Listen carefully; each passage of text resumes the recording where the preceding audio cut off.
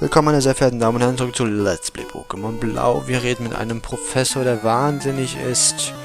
Zumindest will er irgendwas von uns. Er hat eine große Brille auf und zwei Pokebälle dabei. Ein Slimer. Nein, ich wollte eigentlich Kraft einsetzen. Äh, Stärke. Ja, geht auch. Uh. Okay, jetzt kann ich Stärke auch vergessen. Ich glaube, dafür hat der Tackle auch gereicht, aber ich will auch kein Risiko eingehen. Boah, Elektroball. Oh, Elektroattacken, das ist ja mal genial. Der braucht nur Elektroattacke einzusetzen und Gyarados ist weg. Macht aber nicht auch gut. Tadadam.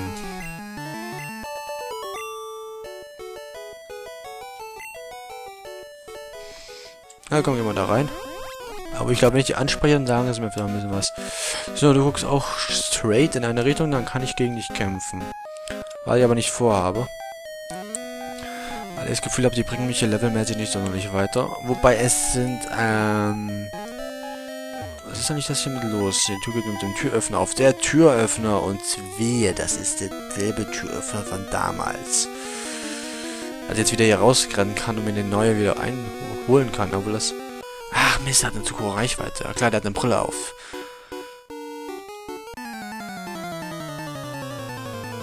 Hat er gerade gesagt, Hut ab, ich habe keinen Zugriff? Nee, Zutritt, meine ich. Oh, im Agnentilos braucht nur einen Elektroattack einsetzen und man weiß, was passiert. Ne, aber er kommt nicht dazu, weil Garados ist Typ Flug und Wasser und so beide sind anfällig gegenüber Elektroattacken. Und Forscher haben nur Elektroattacken. Ich sollte über einen Wechsel nachdenken. Was kommt als nächstes? Ach, sehr gut, dann kann ich gleich wechseln. Magnetonnet. Jetzt mal so viel. Ähm, mal, die Versicherung wechseln. Also ich bin bei der MEW. Der neueste. Ja, Mega Hieb. Klingt schon so gut. Ja, läuft.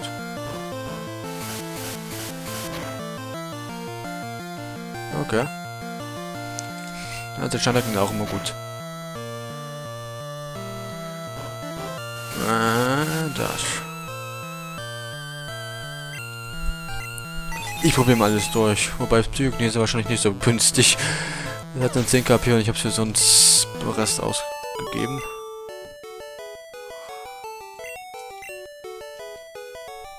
Was redet der?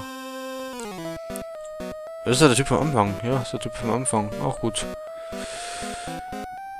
Jetzt bin ich neugierig. Jetzt will ich wissen, wo das hinführt. Oder wo es hier lang geht. Das habe ich eigentlich gemeint, wo das hinführt. Ah, hier ist eine Etage. Warte, wo bin ich denn jetzt hier? Bitte mach... Oh nee, ich will die ich will jetzt kompletten Überblick.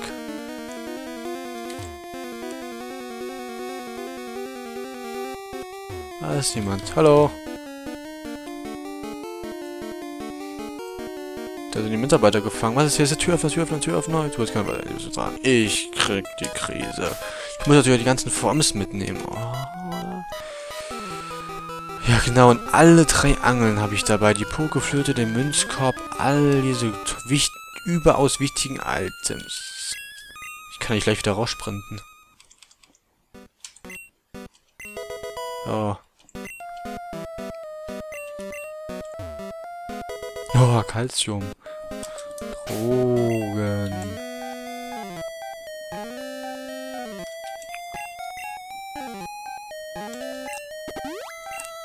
Spess. Ich weiß nicht. Lochwasser ist, glaube ich, spezial. Ich will auf jeden Fall in diesen Mitarbeiter-Lounge da drinnen. Kann ich interessante Informationen bekommen. Ja, Türöffner. Jetzt bin ich dann wieder im Eingangsbereich. Das ist gut.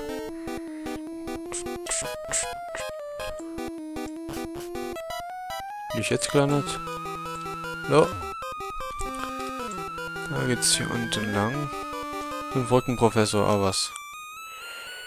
Ah, der Teleporter an den Tischen. Ja, ja, das. Um Himmels Willen.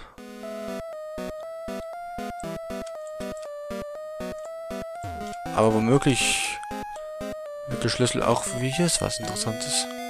Ja?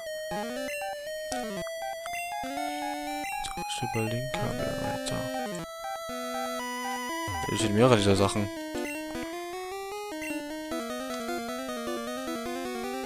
Oh, ein Pokéball. Und der sieht auch interessant aus, aber er starrt auch nur in eine Richtung. Trainer? Was ist das jetzt? Was macht denn Jongleur hier?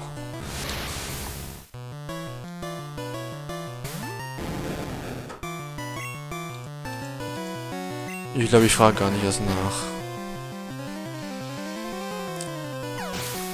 Stattdessen und unwichtige Nebenpersonen kommen nach Hufflepuff. Aber nicht in die Sylph in die Sylphco.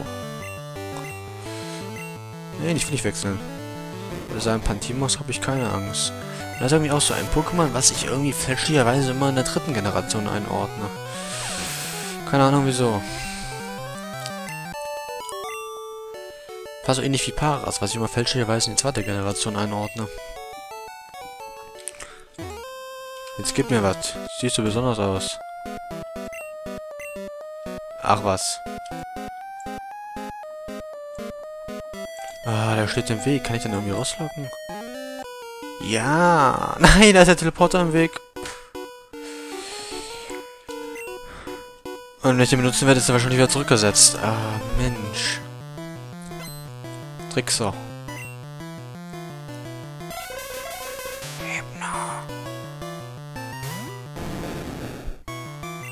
Äh, ah, komm. Stärke hilft immer. Universalantwort. Ah, Konfusion. Deckel.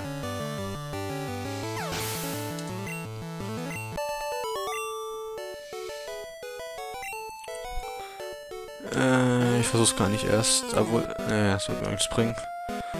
Eine wichtige Frage ist, was befindet sich hier? Beziehungsweise, was ist denn hier unten?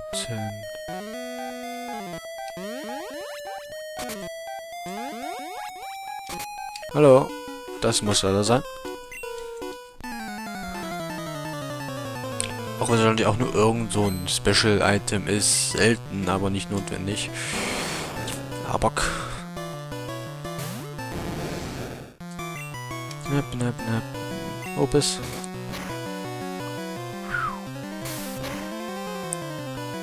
Was vor? Ah, super, nicht vergiftet. Bis. Tja. Mein Biss macht irgendwie mehr Schaden. Denk mal drüber nach.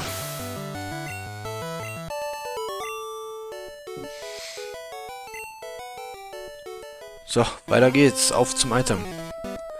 Item. Ja, jawohl, der Türöffner war hier.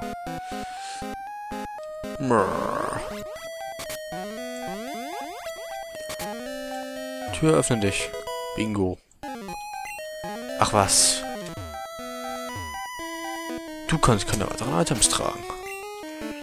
Äh, ich trinke auf 20.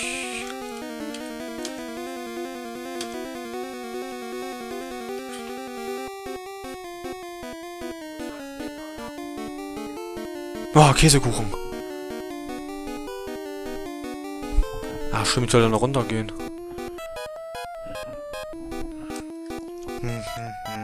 Ich werde einfach die Türöffner weg. Den brauche ich bestimmt nicht. Was ist das hier eigentlich? Doppelteam. Nein. Ja, ich habe gerade TM32 weggeworfen. Ich werde niemals... Oh, nee. Ich werde niemals Doppelteam einsetzen. Garantiert nie. So, dieser Teleporter war hinter dem Türöffner. Hinter einer verschlossenen Tür. Das lässt die Vermutung nahelegen. Sie sind Mitarbeiter, oder? Ja, ist Mitarbeiter, dreht sich. Ja. Sylph Co. Keine Ahnung.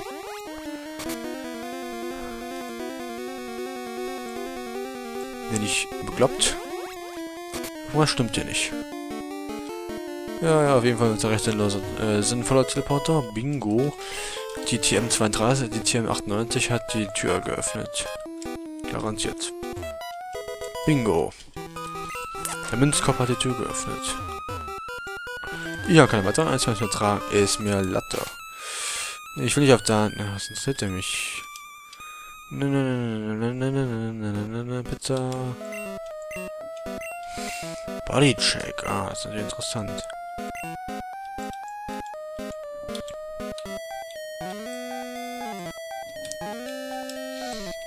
Es ist echt eine Unnützlichkeit nach der anderen hier drin. Wirklich. Ich muss mal kurz nachdenken. Und zwar, wenn ich darüber nachdenken, nachdenken muss, dann tue ich es mal sogar so, dass ich noch Sachen, die sich außerhalb meines Gehirns befinden, sogar zur Hilfe ziehe. Ähm...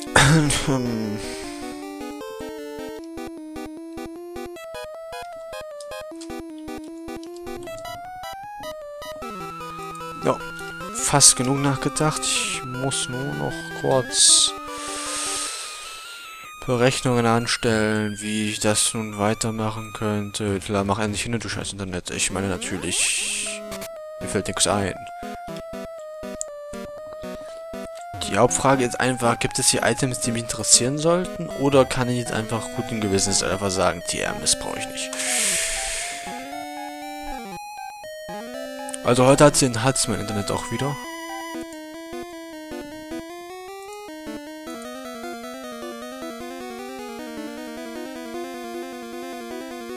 kann sich auch nur noch um Stunden handeln.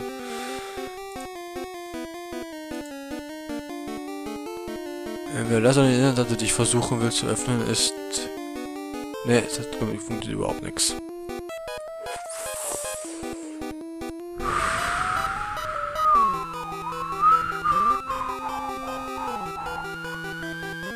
Ah, er konnte den Server nicht finden. Ich habe aber Internet. Ja. Also, End... Okay. Das Internet kann man gerade vergessen, scheinbar. Ah. Ich versuche einfach mal so einen Weg durchs Labyrinth zu bahnen. Wird dann im Nachhinein mal lesen, was ich alles schon verpasst habe.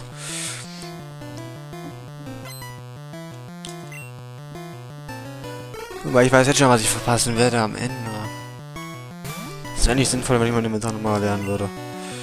Da habe ich auch Lust zu. Das ist echt, das ist echt ein Graus mit diesem ganzen äh, Inventarsystem. Nur weil die Entwickler es damals nicht hinbekamen, genug Platz zu programmieren, um für alles Platz zu finden. Und als dann auch noch geschafft haben, den äh, Programm so, Programmcode so zu ändern, dass sie sogar noch Platz auf dem Speicher hatten, dann haben sie natürlich nicht auf die Idee, einfach das Inventar zu erweitern. Nee, da mussten sie Mew einbauen. Klasse. Witzig.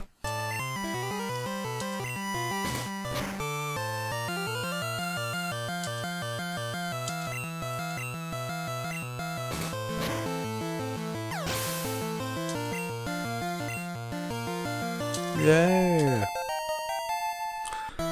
Ich glaube, Level 40 Spitzen würde ich auch von selbst wechseln.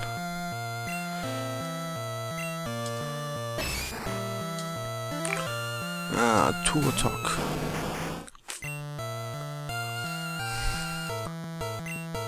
Ja, da ist ja. Selbe Prinzip.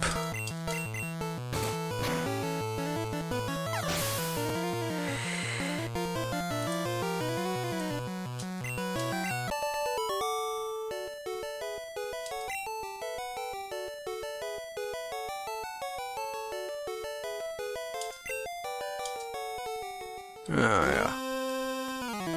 Jetzt wieder eine Tür. Trinken. Ich habe überhaupt keine Ahnung, auf welcher Etage ich überhaupt bin. Hier ist nix.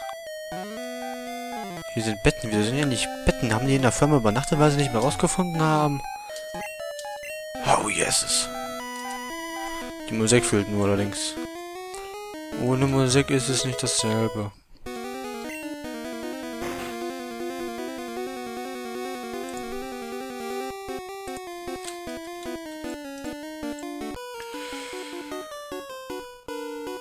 Warte mal, was habe ich hier eigentlich? Internetzugriff. ja, das glaubst du selber nicht. Also ist beim Internetbrowser gerade down oder irgendwas stimmt überhaupt nicht. Jetzt bin ich mal kurz neugierig. Äh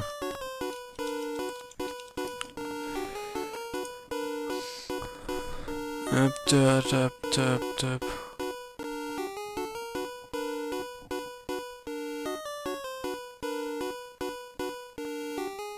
Äh, warte mal kurz hier. Jetzt hat jetzt. Oh. Keine Rückmeldung. Geh aus dem Bild raus. Ich will Pokémon spielen, während du versuchst, irgendwas aufzubauen. Äh, ne, ich verlasse die.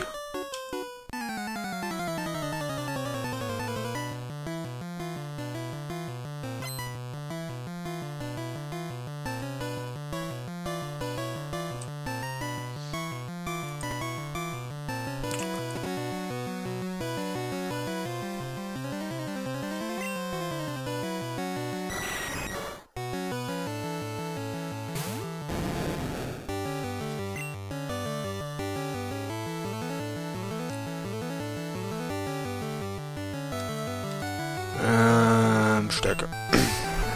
Ich bin gerade ein bisschen aus der Bahn geworfen, weil wirklich mein komplettes Internet keinen Mucks macht. Äh.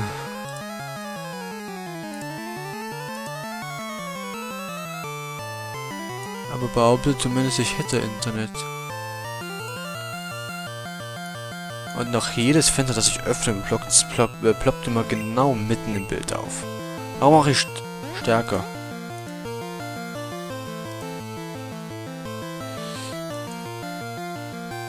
Alles aktiviert.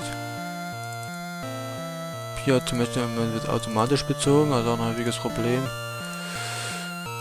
Ich habe Internet. Ich kann es nur nicht öffnen. Wir sind gerade gar komplett Internet überlastet. Weil, keine Ahnung, wie irgendwer meinte, eine Facebook- oder sonstige soziale Netzwerkwelle gegen irgendein schreckliches äh, Vorgehen auf der Welt zu starten oder eine Ahnung, was passiert ist. Stromausfall in New Orleans. Keine Ahnung, ich habe einfach irgendeine amerikanische Stadt aufgezählt, die mir gerade in den Kopf kam. Oder vielleicht wirklich irgendwo ein Stromausfall oder irgendwas. Oder der Router hat ein paar Probleme. Könnte ich, kann ich mir gut vorstellen. Oh, ich bin nicht mehr verwirrt, das ist gut. Allerdings werde ich wahrscheinlich die Folge beenden, weil dieser Kampf hier mal abgeschlossen ist. Mana? Es sind noch drei Pokémon, zwei Pokémon. Jetzt macht Raumato, ich will endlich wissen, was hier los ist.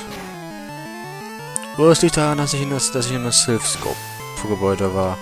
Die doch einfach das Internet in alle Internetverbindungen lahmgelegt haben, um möglichst Kontakt zur Außenwelt zu vermeiden, damit die Mitarbeiter mitarbeiten und nicht im Internet surfen.